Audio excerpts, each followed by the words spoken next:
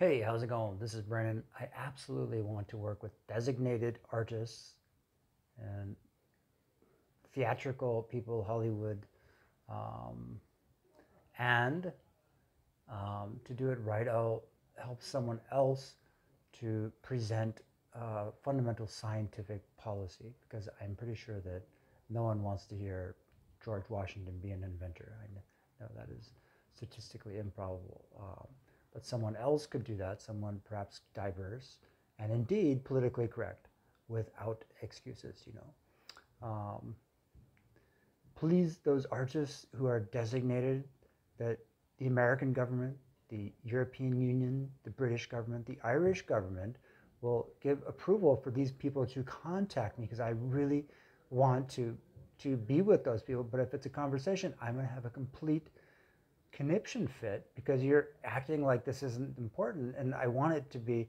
pre-approved so that I can actually be there and all my energy can go towards positive stuff because if you question me it will turn into radical horrible things no one wants to expletive hear about. Okay if you guys contact me get okay I'm granting you permission to contact me directly through the Irish government European and the British, okay, the most competent people, and the